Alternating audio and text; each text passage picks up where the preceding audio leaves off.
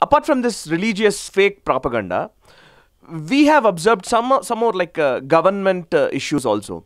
When we speak to the Kashmiri uh, people who are working in hotels or uh, in uh, guest houses and all, they have an opinion like uh, अगर बिजली नहीं है तो "ए, बिजली तो पूरा हिंदुस्तान को लेके जा रहा है हम लोगों को नहीं है इधर ऐसा that fakery is there in their minds actually when lot of uh, if there is no road connectivity means roads तो इधर नहीं है।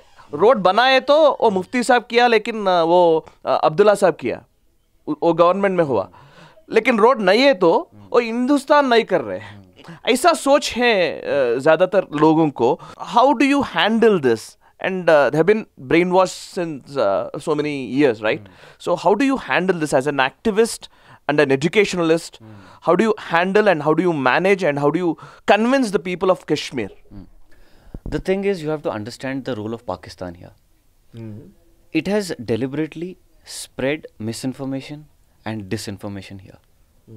Every day, since I'm a, a social media junkie, so I know every day I see 100 to 200 fake pages propping up on uh, different social media platforms. Oh. On Facebook, on Twitter. So, who is creating those pages? Hmm. Pakistan is sitting there creating those fake pages, creating those fake narratives, creating.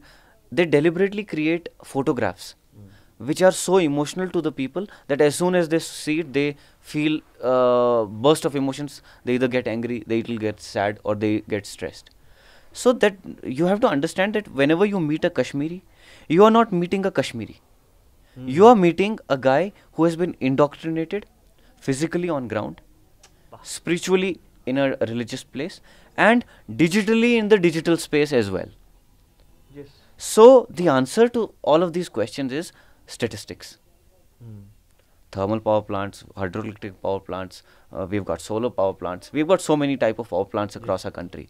Uh, if we have more than 5,000 power plants in our country, small and larger scale, how would the 20 uh, projects of Kashmir uh, run the whole electricity of India?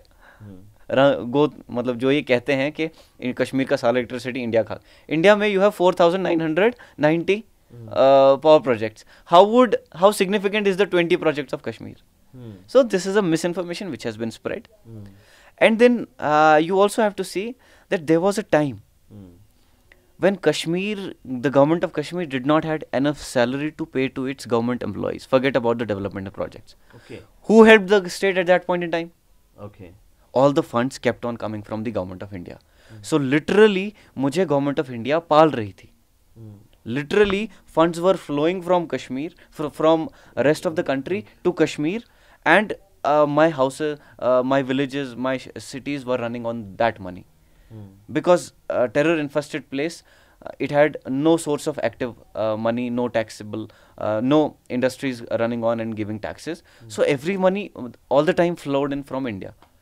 So we have to understand India as a country our country has brought us up and how can we say it is looting us it is all a misinformation and we have to come up with statistics tell them that पाँच हज़ार project चल रहे हैं। किसने खाए? Tell them national highways the fund are release by central government tell government का क्या role आ गया इसमें?